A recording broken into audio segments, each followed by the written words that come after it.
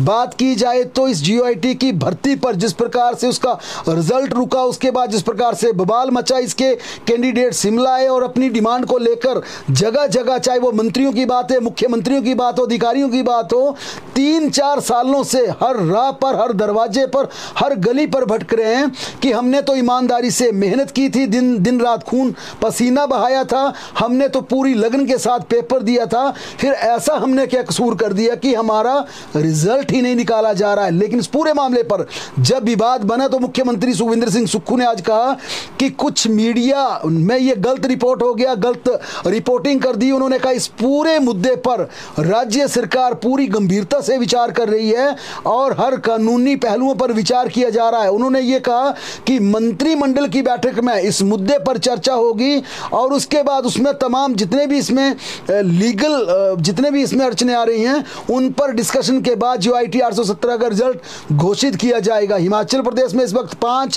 Post code के result की भर्तियाँ लटकी हुई हैं, जिसमें जियो आई टी आठ सौ सत्रह लंबे समय से एक हज़ार आठ सौ सड़सठ पदों की भर्ती रुकी हुई है।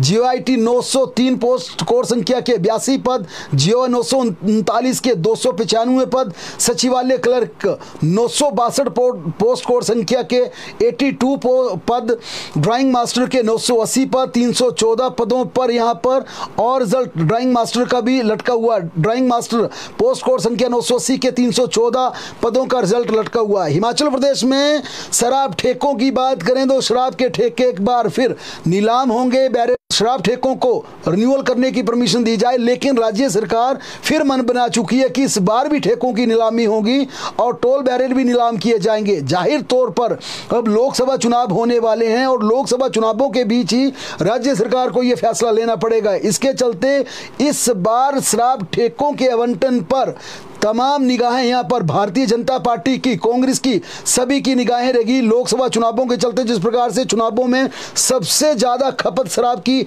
होती है, ये अतीत के पन्नों में देखिए, चाहे विधानसभा चुनाव हो, पंचायती चुनाव हो, लोकसभा का चुनाव हो, हिमाचल प्रदेश में शराब की खपत चार से पाँच गुना बढ़ जाती है। यही बजाय कि इस बार शराब के ठेकों को लपने का हर ठेकेदार प्रयास करेगा।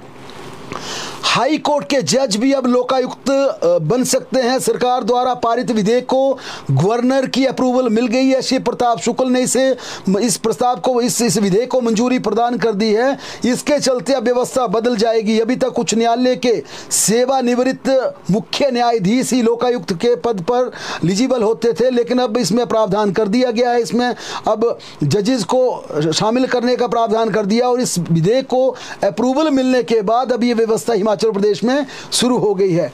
मंडी कुल्लू लाहौल स्पीति के युवाओं